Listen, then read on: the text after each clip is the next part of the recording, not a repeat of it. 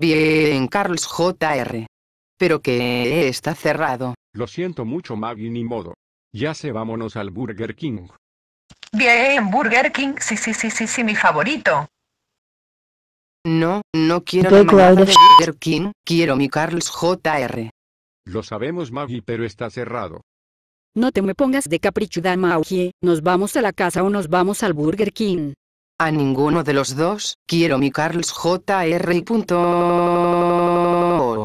Y si no va a ser Carlos Jr. lo voy a destruir, la voy a destruir, la voy a destruir.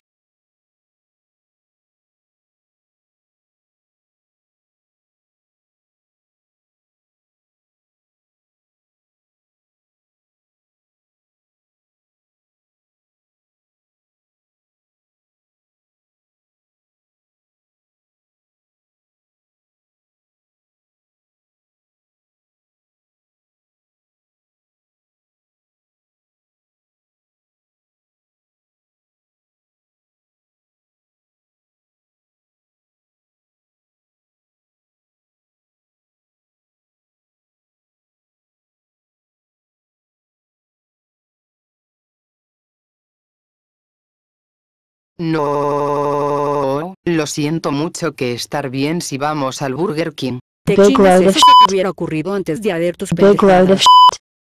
Maggie estás castigada por 368, 87, 54, 33 millones de años, y gracias a ti demolieron el Carl's Jr., y lo van a reconstruir porque ya está en ruinas culpa tuya.